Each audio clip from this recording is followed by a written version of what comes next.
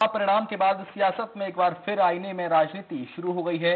इस बार छत्तीसगढ़ जनता कांग्रेस के प्रदेश अध्यक्ष अमित जोगी ने मुख्यमंत्री भूपेश बघेल को गुलाबी रंग का आईना भेजते हुए लोकसभा चुनाव में मिली हार पर व्यंग किया है।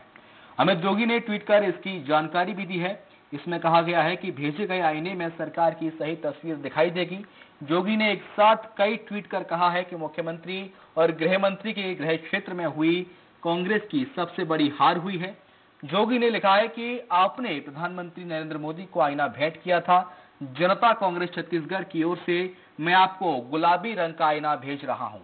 इसमें आपको अपनी सरकार की सही तस्वीर, जो पाटन समेत प्रदेश की जनता ने कल आपको दिखा दी है, वो दिखेगी।